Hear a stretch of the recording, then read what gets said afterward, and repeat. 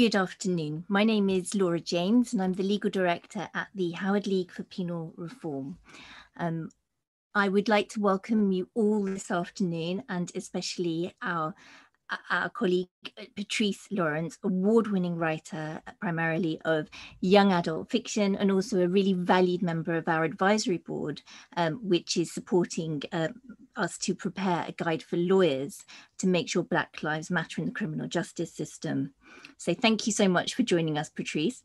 Um, I have absolutely loved reading your books and actually so have some of my colleagues at the Howard because we chose RAT as our first ever book club um, choice, which was brilliant. So um, thank you for that. Um, I'm going to really try and avoid any spoilers in this conversation today so that other people can get to enjoy your books as much as I have.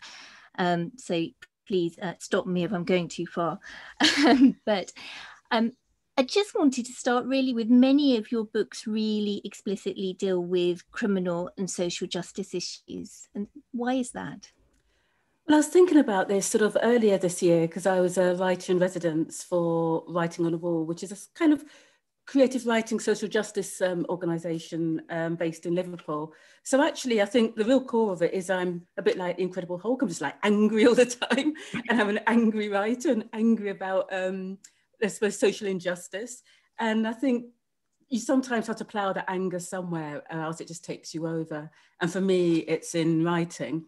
And when I was sort of thinking about this, this sort of session we, we were doing to, uh, together and thinking about stories, I was thinking about how we create the stories around our lives and the things that when we look back are little stepping stones to what we do. So it kind of might be the same for you, you know, about why you took law and then went into private practice and the things that you thought you couldn't change through private practice. So, you know, went into, into the sort of voluntary sector to, to change.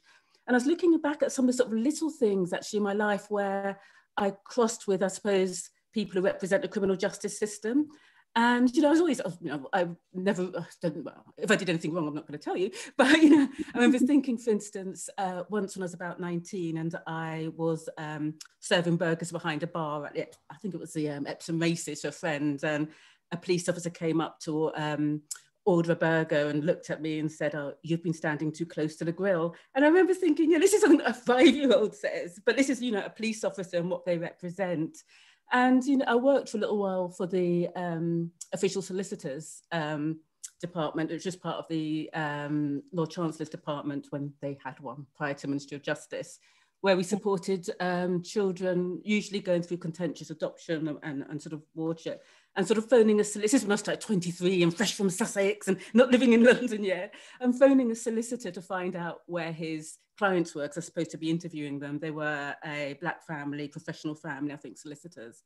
And he said, that's what we call uh, CPT. And CPT, I was at a, a coloured people's time.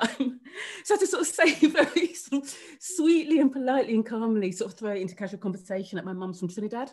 So when you sort of look back, but I think because any minoritized community, whatever you are, you're kind of used to these little, I suppose what you'd call a microaggression. So you ignore them as you go, you know, else it would just affect you too much. But actually, maybe there's certain times in our lives when we feel a bit stronger and we don't feel we have to be in denial. And then we think, what do we do with it? So for me, a lot of it I plow into books. So, you know, worked in a voluntary sector for over 20 years, particularly with um, families and children, sometimes through child protection and social services work, through um, working with families of prisoners and sort of criminal justice policy, children's policy.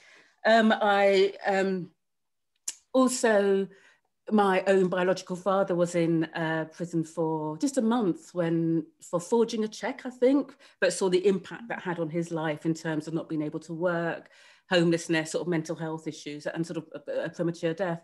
So I think all of these these things have come together at a time in my life where I feel able to reflect on them and think I'm going to throw them into a story. So that's I think that's in a nutshell why. That's that that's really interesting, and I suppose one of the things that um, I've also picked up, um, and in particular, my daughters really enjoyed some of your some of your other books is not not all of them are expressly kind of touching on some of those angry issues, if you if you like, the criminal justice side of things. But um, identity and exclusion um, always seems to be there. Even Diver's Daughter about um, set in Tudor times, and um, and your brilliant reimagining of Malory Towers, which I have to confess is the book that made me cry the most. Oh. Um, I, how how do you actually weave those sort of racialized identities and the sort of patchwork of human experience into your work? I think I start now with the premise that the main characters that I'm going to write about are going to be uh, black or mixed heritage. Um, and I think a lot of that obviously comes from me growing up and there is nobody like me in books apart from some incredibly racist illustrations by Hugh Lofting for Dr. Dolittle, which I kind of looked at when I was six, looking at these sort of images where the king and queen in Africa looked like um, orangutans basically and trying to work out, is this what people like me look like in books. So that kind of tells you that you don't belong in books and that you don't write books. And it took me a very long time, you know, into my 30s before I overcame that. So I just thought, you know, no young person should feel that that they shouldn't be in books, but actually we should reflect their reality. So, you know, if I'm writing black or mixed heritage people in books, it's not going to be, I suppose, what sometimes friends call like a colouring in exercise, where you sort of give them a name that signifies they're from other, but then they actually, their lives are the same as sort of the white majority. So you want young people, or I want young people to read my books and think, oh my gosh, that happened to me or you know oh yes somebody gets it and feels seen so there's something i think just feeling really special if you're that person who's on the outside and you feel seen and validated and you're there it just makes you feel important and i think you know i grew up in a very um even for 70 Sussex, but a very unusual type family. So my first family was a white foster family in, in Brighton in the 70s who were lovely and, you know, taught me to read. And then in uh, Sussex and Haywards Heath. It was my mum and my Italian stepdad who weren't married. And that's even weirder being Italian and Trinidadian in the 70s. You know, everybody was married. Um, so I've always grown up in alternative families, um, and you quite often see them problematized in books and whatever. But that was that wasn't a problem for me. It was like rich material to sort of grow on. So I know there's all these different types of identities and experiences that you can draw on. So why would I not want to write about it? You know, and I've got all of those other lives that I could steal and write about vicariously, put them in my books. That, that that's that's brilliant, and it sort of really feeds into the next question that I I had down to ask you, which was really what you what you want young readers to really get out of out of your work. And I mean, you've already, of course, mentioned being able to to see see themselves in it but is there anything else that you think is important for young readers to well, experience from your work I mean, there's lots of things. I think children and young people have so little agency over their lives. You know, someone else does, does, sort of decides if and where, you know, they will go to school, you know, what they learn in school, who they will sit next to in school. You know, every element of their, their life is decided. You know, what media they consume, what's on telly, what's all of these things. Mm. Um, so actually being able to write stories from either whether it's uh, from picture books to, to books with, with um, young adults at the centre is a way of giving young people back some agency.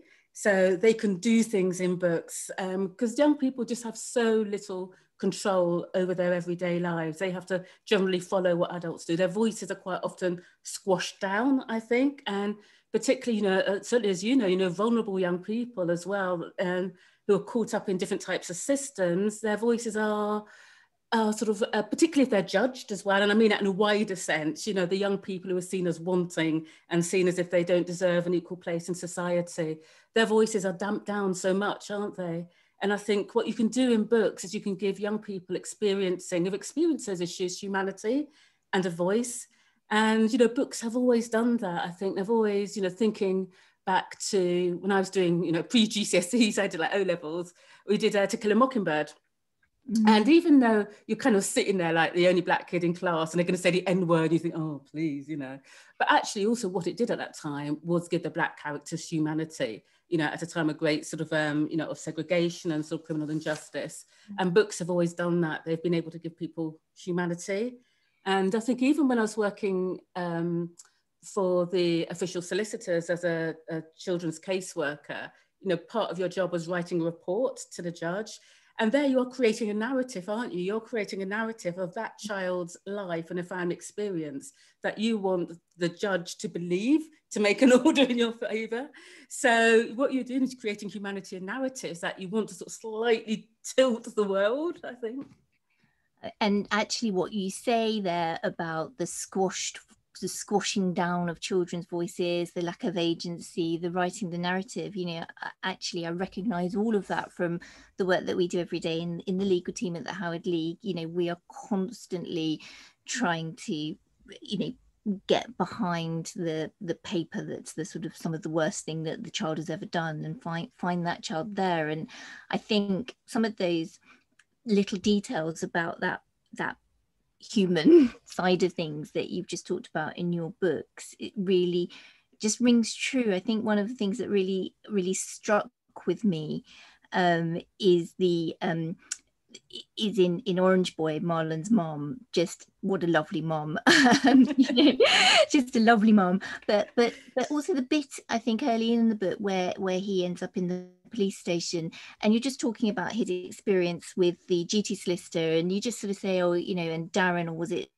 Daniel, or you know, and and that's the sort of thing that I hear from children every day, or who represented you at the police station, or I don't know, I can't remember their name. And the way you just get that kind of very granular detail across of what the experience for children is in the criminal justice system. And I suppose uh, I'm interested actually how you get that level of detail and why you think it's so important in a way. I think for me, when you're writing characters who are part of groups that have experienced discrimination and, and judgment, you really have to think about it. And I think with Orange Boy, you know, you, it could be seen that I'm writing about a young black boy gets involved in crime. So that's every stereotype klaxon going. And of course, once you write a book, you can't control it. So you can't control how other people perceive it. So I could say it's this, this, and this. So what I say about Orange Boy is that you've got three sets of brothers um, all dealing with legacies from other brothers, but they've all got different amounts of social capital. So Marlon, who's obviously tells a story, you know, he's got his mom who's a librarian, she's got kind of an affluent white boyfriend. Um, and even though she really struggles with it, there is some degree of social capital there. She can get to the um, police station, she can get to the school, she's articulate, she can articulate, she can advocate for him, you know, she's got that. Whereas at the other end, you've got sort of Dice, who's you know, his mum who didn't have agency herself, and he's kind of left to it. And his character was inspired by a book called Prisoner of the Streets, written by Robin Travis, who's become, you know, quite a, an author now and, and a real sort of a sort of spokesperson for what happens for for young people who sort of experience these difficulties. And he wrote like it was like a memoir about how he grew up in Tottenham and Hackney, how he got involved in gangs in, in Hackney. And one of the details that really struck me was when he was 15 and he had nowhere to live, so social services put him in a hostel. And I know actually where that hostel is because it used to be near my bus stop in Dalston. But it was a hostel full of grown people with quite profound experiences. And this is a 15 year old in this really, you know, vulnerable position. And I just thought, oh my goodness. And it just really made me think about the different safety nets that people do or don't have. So I thought it was really important that Marlon actually does have some privilege in his life in terms of what mm. he could mm. do, but he still finds himself pulled into it. But compared to the other, you know, the the sort of the ice and his brother Taze, it, it yeah. is, there's nothing. So I thought it was really important to make Marlon very nuanced and very relatable and just as far from a stereotype as I can while still exploring the issues around prejudice, stereotype, and what, get, what gets projected onto young Black people and what sticks in spite of their total humanity. And, and absolutely the kind of that those kinds of different gradients of um, care and support that young people have um, is, is just so important and you know we see that as well in our work with this huge increase in young people just 18 being put in approved premises for much older adults which is really distressing um, so and I think the the other thing I I just wanted to talk a little bit actually about Indigo Donut, which um, I've only read for the first time recently, or listened to actually. I have to say, I listened to Ben Bailey Smith, and it's brilliant, brilliant reading of it, and I absolutely loved the book. But Um, first of all, it was really it was great to have a. I mean, you've written lots of books with girls as, as main characters, which is, I think, really important because I think sometimes in the narratives that we've been talking about, sometimes boys really dominate that. And um, certainly, one of the good news stories in the criminal justice system is the reduction in the number of girls. Mm-hmm. Um, but but still, you know, there's lots and lots of really important issues issues there. Um, and what was really interesting about that book is nothing. I'm desperately trying hard not to do any spoilers here, but the the involvement with the criminal justice system for her as as somebody in contact with the police doesn't kick in till very very late in the book by which time you've really got to know and really like her. I think she's a really lovable character.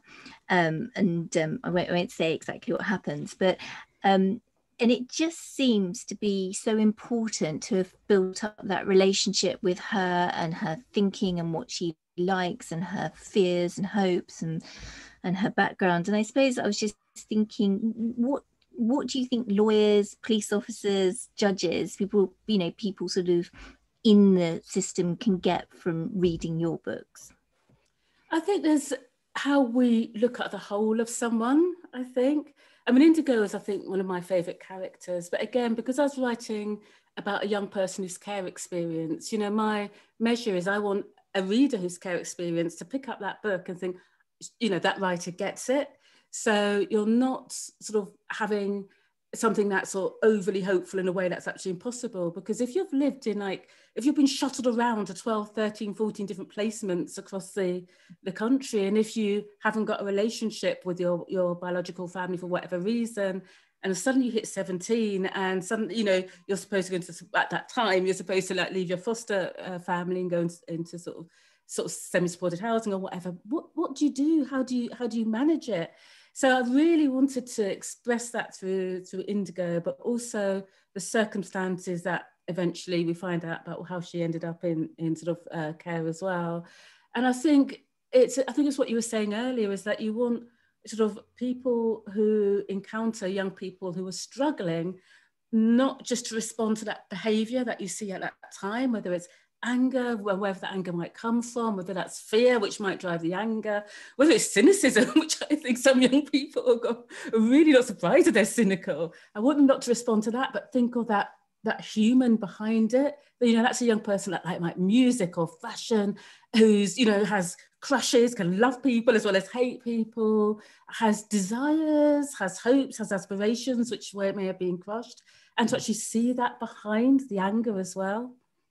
I think one of the things that kind of really troubles me about the the system, as it were, is sometimes you don't even get the chance to find out about um, a young person's background or experiences until until they get really quite deep into it. And I had an experience just the other day actually with the young person who we've been working with for for several years, and it was only when a particularly powerful criminal justice event happened that we got lots more information about his background, which opened up conversations, which totally changes the picture. Mm. Uh, so, you know, it, it feels like that scratching the surface, and it feels like we all need to maybe be be better writers, historians, and and better at communicating. And there's, there's actually so there's it's actually an organisation called the Empathy Lab, which um, each year builds together a collection of books for children and young people and they sort of uh, you know promote those as books that promote empathy because we know that you know stories can promote empathy. They can change our opinion about other people. So it's not only about seeing ourselves it's about seeing other people. And i think books can provide a safe space for that because i think we all do hold prejudices and we all do you know because they've never been challenged. So you know before i moved to london i'd never met somebody who was out as lgbtq because growing up in the 70s and 80s, that would have been dangerous in our, you know, where I, you know, where I live. People would have been mm. hurt. So you sort of absorb all the media stereotypes and books allow you privately to work through those stereotypes and acknowledge your own ignorance, I think. And what Empathy Lab does, it's a big collection of books for children of all ages that, you know, they encourage schools to, to and librarians to um, uh, give to children to read so that they can learn a little bit about other people's lives through, through books. So, and it's again, it's about, you know, for lawyers and, and the criminal justice, something also very basic about, particularly when we're looking at um, racialized identities, about how you educate yourself. It's not like there's not information out there. It's about how you listen to the voices of people who are marginalized as well. Because, you know, we find it very hard to talk about race and racism because for much of our lives, I think the first time I talked about, I really not even talked about it in school. I was nine, and um, our school decided it was going to have a production of Oliver because you know primary school you're going to have a production about child exploitation and child prostitution with snappy songs. Why not? you know, um, and I just said sort of casually that I said I, I probably I wouldn't get a part because I was black, and I didn't mean that wasn't assuming my teachers were racist. I just, I'd just seen the film several times. They're like, no black folk in that film. But yeah. one of the other, um, one of my friends told her parents, and they were really upset about it, about because they thought it was a racist thing. So they told the school, and I got taken to that to the head, and the head sort of in, not, just interrogated my nine-year-old self. It's like, did you say this? And like, no. So you learn at a very young age not to talk about it, and you hold it in. So I think there are a lot of perhaps people in the criminal justice system, perhaps people who aren't part of mixed communities, um, don't have, you know, that, that mixed friendship group, the close people that you can talk to about who don't have these conversations. So mm-hmm. they really need to find ways of having those conversations and educate themselves. I think that's really valuable, Patrice. And I think as lawyers as as well, you know, quite often, you know, they're not always comfortable conversations to have. And it's something that we're working really you know hard to make sure we have those conversations with the young people we represent um you know who are you know many as you know there are lots and lots of particularly young black boys in in custody. And there is also as i said also there is a class element isn't isn't there as well? So i think you know one of the things i suppose you know i talk about privilege of my privilege privileges even though i grew up in a sort of a working class background is that my mother grew up in colonial Trinidad. So I've got lots of points of references that, and my mm. stepdad's Italian, but um, we used to go to Italy, so we used to like see, go to all the museums and art galleries, you know, seeing like Botticelli. So I yeah. could have middle class conversations. Yeah. So I can articulate, and I think for particularly for sort of young black, black, people who might be involved in the criminal justice system, you're walking into a space where you might be the only black kid. You already know what that means. And if there is another person of colour, they might present as somebody not only from a different generation, but a different class as well. So you might already feel cynical that they are aligned with, you know, the majority and already against you. So there's a whole range of sort of intersections there that can impact on young black people, which again will impact on the way that they present to you, which kind of is it ends up as a cycle, doesn't it? I think. Absolutely. And in terms of sort of accessibility, obviously you've spoken about the empathy lab, but are there other ways in which you you get your books out there, as it were, particularly to some of the young readers that you think would really benefit from them? I think one of the things is that we, in certainly for the team books, we, we literally try to have um, questions at the back that you know can be used in discussion groups.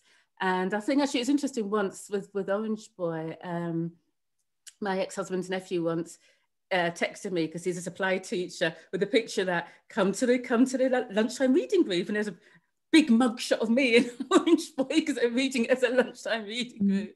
So librarians and, and sort of teachers have been fantastic in getting the books out. Um, I know Orange Boy is in uh, sort of um, lists for reading for pleasure as well. So literally just getting those in, into the hands of children. Um, I think Rat, which is, um, she says wobbling. You can see it just yeah. behind your head. I can go my left or right. um, you know, could be used like as a P- PCS, a PSHE book, you know, where you can read it and think about what's it like to be a child who's angry, who's, you know, mum's been in prison and then gone back in again, you know, about food poverty. And it's the same with Rose Interrupted, actually, food poverty. You know, it brings up lots of subjects, I think, that if you wanted to encourage a conversation in a safe space, you can talk about them.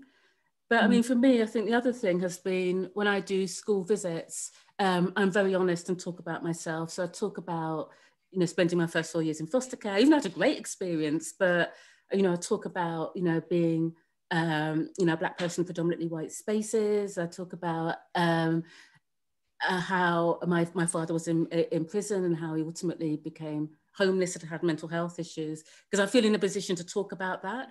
Um, mm. And so many young people do come up to you afterwards, either openly or very quietly, to relate their experiences. So you like get a little pat on the back and go, like, geez, I'm in foster care. Or, you know, a young woman, I think, in um, at one event sort of said, yeah, my dad's in prison too. And that's happened a couple of times. Or young people, when I talked about Indigo Donut at the Hay Festival, a sort of school event, um, the first people who were queuing to, to chat afterwards were young care experienced people because it's like oh my gosh you know it's it's that. So i think it's about how you get the books to lots of different readers but then if you can how you create conversations around those books. I think that that sounds really important and certainly i hope i hope some of your books are in some of the libraries where the young people we work with are in custody so the other thing i wanted to ask you is um, what books have you have inspired you Oh, that's that's hard because um, I think the books. Obviously, I was a massive reader when I was a kid, massive. But what reading did for me was, as well as inviting me into different worlds, it invited me into worlds where I didn't exist. So it had like this kind of you know, sort of polarized thing going on where it's like, come into my world, but hey, no black people allowed, you know. So you, I sort of just absorbed that for years and years and years, you know. Um, and then I got into Stephen King books, which I'm not sure. I told you about the story. Um, and then when I was um, in my actually my early 30s, I just had a baby. And my baby was about two weeks old, and I turned on the TV, and it was an adaptation of Malorie Blackman's Pig Heart Boy. And it's like, it's a black family, and they're not the Cosbys, and it's not Fresh Prince of Bel Air. And literally, you know, I to this to somebody the other day, if if you've been a person who's always seen yourself, you could not understand what it's like to suddenly see yourself like that and to think, oh my gosh, I might belong, I might be able to do this. There was a place for me. So sort of Malorie Blackman definitely, because this door opened and I just thought I can use my my sort of own experiences. And there's a lot of children's writers now that are exploring social justice issues in books and sort of older than sort of uh, and sort of writers for sort of adults as well. So one of them um, was, a, I'm not going to move my teaching pile because I've had too many bad experiences. So um, in Boy Everywhere by uh, uh, Asda she's written a story about a, a Syrian refugee from Damascus so she did loads of research about it, you know, sort of worked with sort of local Syrian communities in, in Leicester and, and given back. And she was just saying today, actually, that she was uh, phoned in LBC radio to debate with a man who was saying that, you know, refugees are just here to get our benefit, you know, benefits. But that book's been taken up quite a lot in schools. So, you know, this is actually a chance for a generation of young people to to understand the stories behind refugees, which, bearing in mind the news today, feels incredibly important. Um, Caleb Femi's um, Poor, which is Caleb is an amazing poet um, who's from sort of grew up in Peckham in, in the estate where Damilola Taylor was killed, and he's kind of mm-hmm. written this sort of anthology of poetry about, and it's kind of celebratory, but also it's just about the realities as well. It's sort of very lyrical and powerful and and sort of gorgeous. Um, there's been quite a few American books recently. Um, my US authors, um, middle grade and YA, that again have had that element of, of learning in them. So one is called Ghost Boys by, I think it's Jewell Parker Rhodes, which is middle grade, which um, starts with a, a boy, I can't remember, he's quite young, getting shot dead by a white policeman. I think he's, he, and he's, and it's, it's his ghost telling the stories. You've got like Emmett Till and all of those things uh, in there as well about how so many black boys get killed. Um, so it's not a cheerful book, but it's kind of again, it's a sort of uh, sort of learning. So the name is Caleb, the poet's name, sorry, is Caleb Femi. So Caleb C A L E B Femi F E M I, and it's called Poor, the book. Mm. Punching the yeah. Air sort of came out this year, which is by um, Yusef Salaam and Ibi Zoboi. And Yusef Salaam was, as a teenager, when he was 15, he's one of the Central Park Five who was mm. erroneously accused of the sort of rape and murder of a, of a white jogger. And uh, he, Donald Trump then, who was, you know, his business, this businessman paid for posters to go around New York saying, you know, the death penalty should be brought back for New York for people like them. But they didn't do it, but they were incarcerated. So he worked with Ibi, who's a writer for young adults, to write this verse novel. And it's inspired by his experience about a 15 year old boy who's in the wrong place at the wrong time in a gentrified neighborhood who ends up in, in prison. But it's also about the redemptive power of art and poetry. So it's got so much, so it's much more hopeful because I was resisting it. It's like, oh no. But actually it's about art and the power of, of art as well.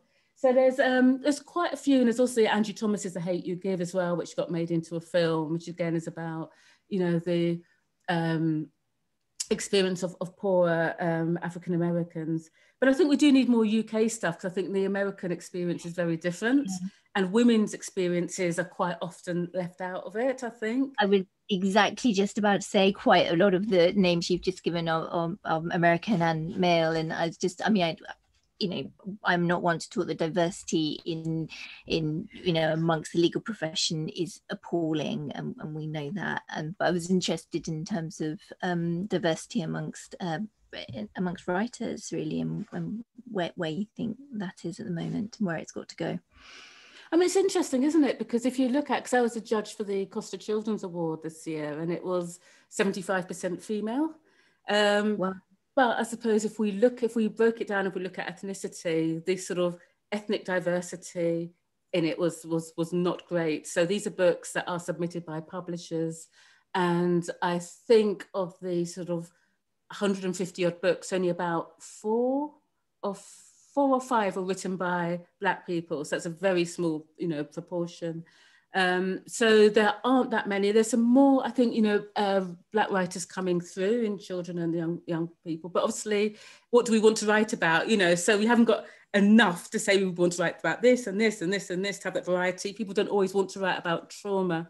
Um, they, um, I wonder as well whether women, particularly Black women who've experienced imprisonment are expressing themselves in different ways. So through poetry, obviously through clean, you know, clean break, through performing right. art and other ways. So perhaps so their, their sort of experiences coming out. But it still feels like in certain children and young adults, uh, the experiences of Black women and girls who are in the criminal justice, I can't really think of much, and certainly from a UK perspective.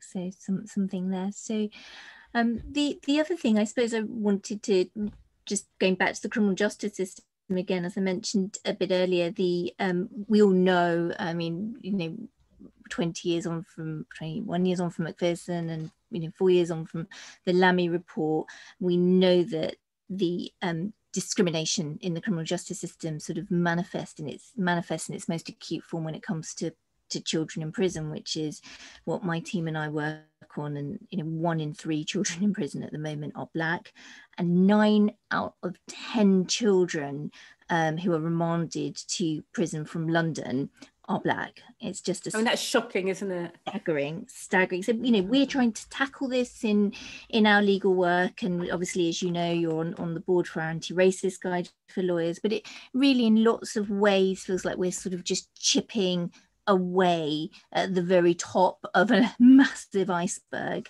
and and something something more really is needed and i suppose i'm just interested to pick your brains on how we we can work together as a as a community really to achieve much wider change well, I think there have always been grassroots organisations for as long as I can remember that have been working on this. So, you know, um, sort of uh, black family organisations and all of those, I think, have been doing that.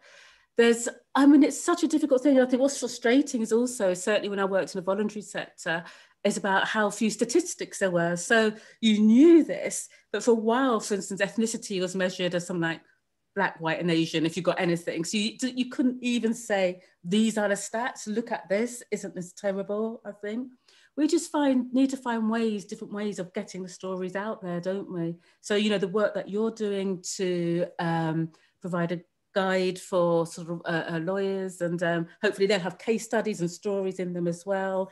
It's like every time we go out and speak to people as well isn't it? And then of course it's about how we create the next generation of um, uh, lawyers and other sort of professionals in the criminal justice system as well, who actually understand these experiences and, and can challenge them. Um, it's also about the, you know, the books that go into nursery schools and the picture books that's, that, that um, can challenge stereotypes um, that, are, that are already there. We want to see the books that have, you know, um, black children as, you know, like Nathan Bryon and Dapo Adeola got, got a little girl, a little black girl who's an astronaut, for, for instance, you know, and it's like a UK book, you know. We want all of those sort of books that can tell children that these are your paths, these are things that you can do. So it starts so at the beginning, I think, doesn't it? And then works its way its, its way through.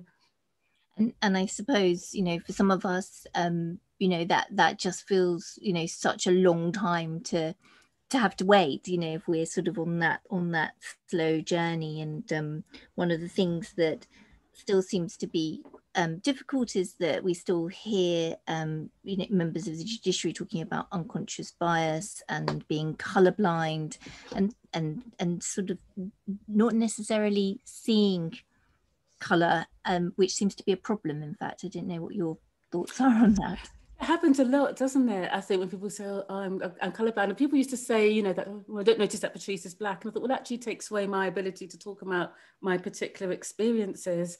And it's really hard, also because there's issues around power dynamics, isn't there? And it's about, you know, how can you tell somebody that's got so much power and is actually in a position of power and is looked at as in a position of power just because of their own identity, quite often as a relatively, relatively affluent white man. So you're at top of the tree, you know, how do you tell them them? And I, I think we just have to carry on as, as, as we are, really. I think there are some people who will, um, you know, looking at your advisory group, you've got such amazing people on that who are doing so many different, you know, different levels of work, the work that people do individually with the young people that they see, you know, the work that people might do around education, you know, other lawyers, the um, advocacy and activism some of the your sort of members do.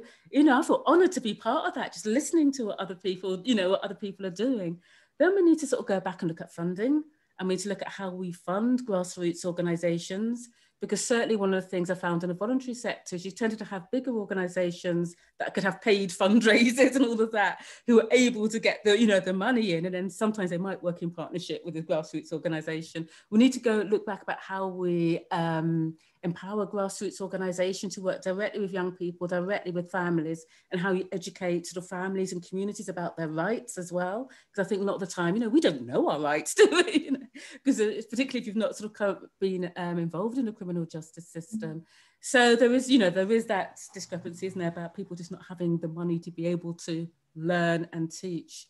And then I think there's just a really big onus on the voluntary sector. And I think um, certainly my experience of the voluntary sector in London is very similar to publishing, is that it is predominantly white, predominantly middle class. It's not particularly diverse.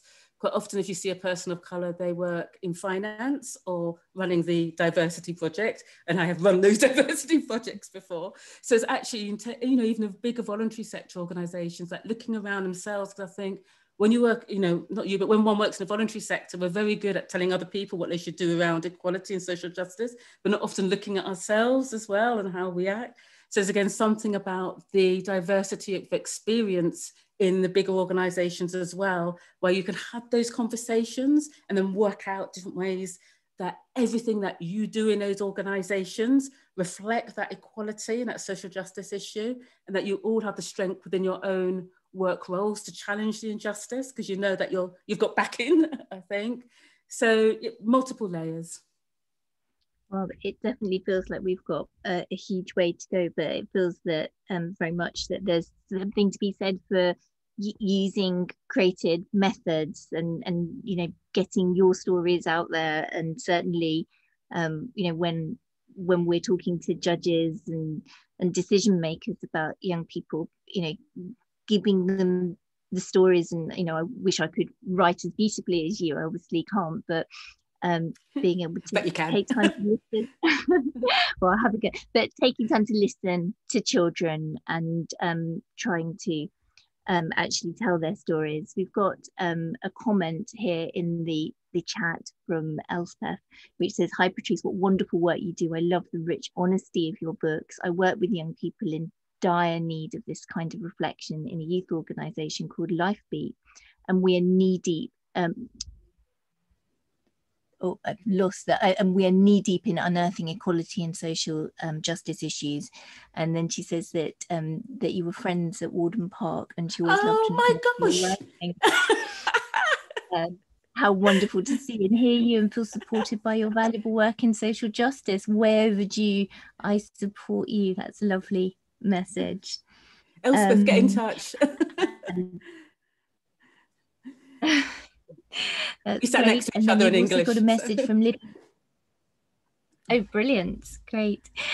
And um, we've also got a message here from Libby saying it would be possible to have a note of the books that you mentioned, particularly the book about Syrian refugees. So we can definitely send out your your recommendations. Um, we might we will just check and make sure we've got a note of all of them. Yeah. We can send that to um, people after the event.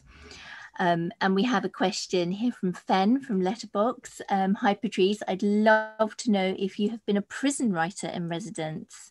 If not, would you want to? And would you prefer to work in a women's or men's prison estate?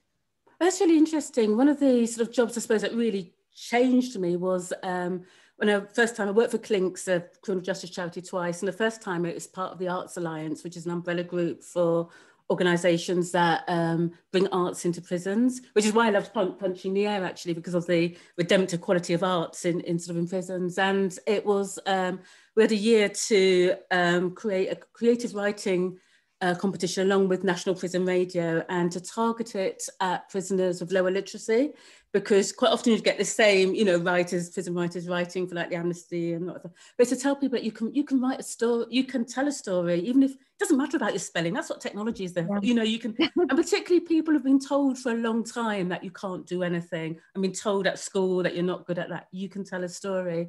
So we had to recruit. Um, uh, writers. We had to do work in at least 20, 20 prisons. I think we did 25 and recruit writers to do um, workshops along with Geese Theatre, who like a prison theatre company who work with masks. So they would like create characters and and it was absolutely fantastic. And there's kind of two things that really struck me. was one where we had um, Eileen Browne, who's an illustrator and children's writer. She did like Handa's Surprise and some others. So she did a session in Wormwood Scrubs and I didn't sit in because I was doing something else, but I saw her afterwards and she said the chaplain set it up.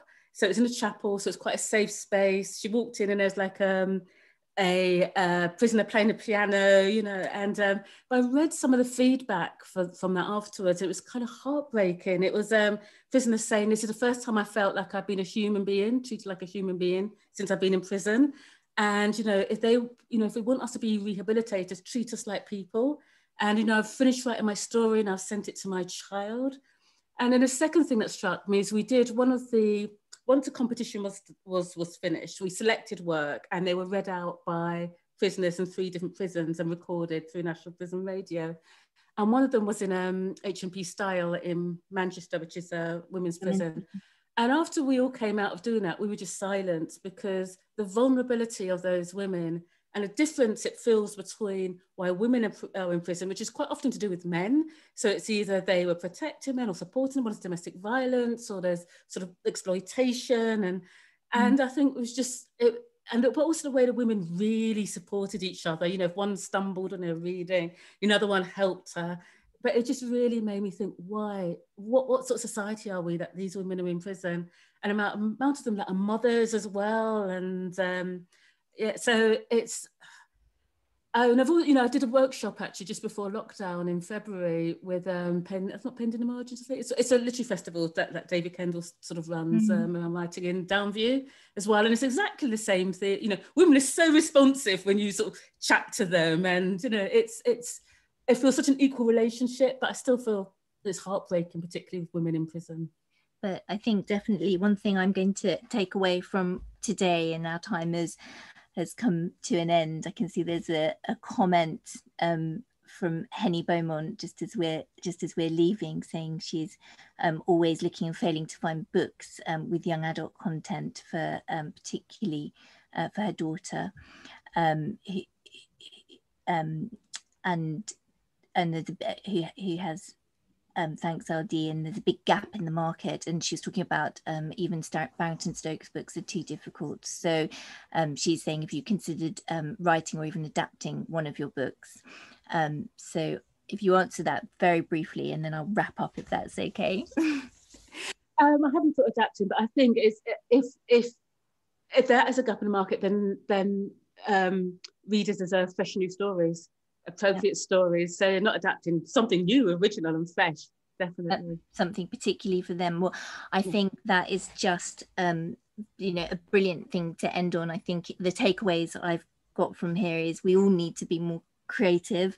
Um, everybody should read your books, and we should um, take your list away.